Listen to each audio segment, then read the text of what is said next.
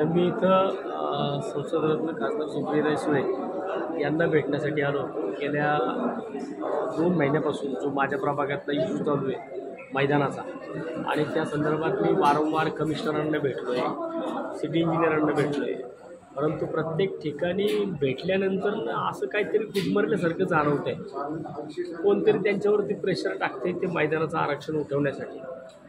आणि त्याच्यामध्ये स्वतः आपल्या राज्याचे उपमुख्यमंत्री अजितदादा पवारांचंच पत्र आहे. अजितदादा पवारांना सुद्धा दोन वेळा या संदर्भामध्ये विचारणा झाली. तर दादांनी सुद्धा या संदर्भामध्ये विषय टाळला आहे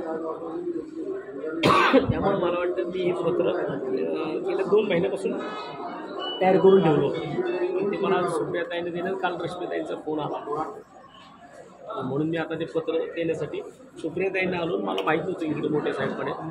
मोठ्या साहेबांनी माझ्याकडे पत्र घेतलं. द्यायला लागलं तात्या तुम्ही आजवर अनेक सार्वजनिक कार्यक्रमात असताना अजितदादांनी देखील तुम्हाला ऑफर दिली होती की तात्या तो आमच्याकडे ये. आणि आज तुम्ही मोठ्या साहेबांना भेटलेला आहात.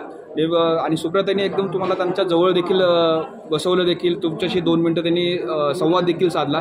नेमकं कशाप्रकारे तुमचा हा डायलॉग झाला काय सांगताल? तर मला या कोणत्याही परिस्थितीमध्ये माझ्या प्रभागातलं हे आरक्षण आहे. नऊ एकर जागेचं आरक्षण आहे. आणि मला वाटतं की मला माझ्या प्रभागातील नागरिकांचा विचार करणं फार गरजेचं आहे. हा विषय मी सन्मान्य राजसाहेब ठाकरेंची सुद्धा कानावरती घातला आहे पुण्याच्या भेटीमध्ये.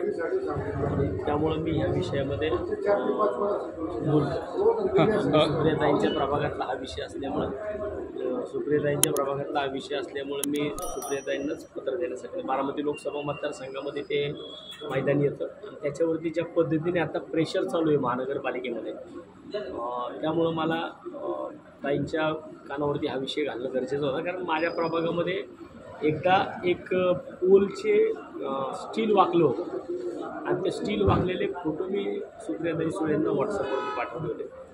मला वाटतं की दुसऱ्या दिवशी सुप्रियाताईंनी त्या जागेवरची भेट दिली होती. त्या एका पोलसाठीचं ताई एवढ्या ॲग्रेसिव्ह होऊ शकतात तर नऊ एकर जागेसाठी का नाही साहेब तुम्हाला नेमकं काय म्हणले? आणि हां. साहेबांनी मला या संदर्भात माझं एक पत्र ठेवून घेतलं आहे त्यांनी मला सांगितलं की कोणत्याही परिस्थितीमध्ये हे मैदान मी जाऊन देणार नाही. अजून एक तुमच्याकडे बारामती लोकसभा मतदारसंघाची साहेबांनी जबाबदारी दिली होती.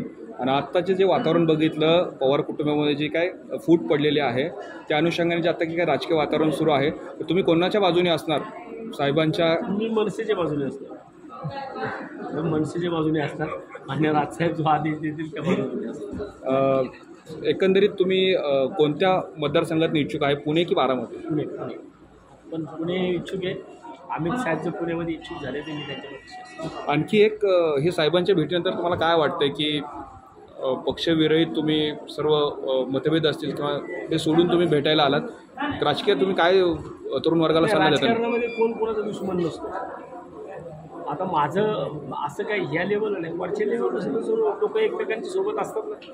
मग मी मी जर माझ्या प्रभागातलं आरक्षण वाचवण्यासाठी उद्या मला जर ती संधी मिळत नाही आहे मला की देवेंद्र फडणवीस साहेबांकडे जाण्याची त्यांच्याकडे सुद्धा जाण्याची मला संधी मिळायला मला रश्मिताईंनी लिटरली फोन केला आहे काल रात्री की उद्या आम्ही निसर्गाला आहोत. तुम्ही उद्या तुमचं जे निवेदन होतं ते उद्या निसर्गाला ताईंना देऊ शकता पण आता माझं आहे इकडं. पवार साहेबच भेटले. आज डायरेक्टली काय म्हणतो? प्रत्यक्षात देवाला देवा. सीधा माल मुरगन थँक्यू दादा. माझा एक करायचा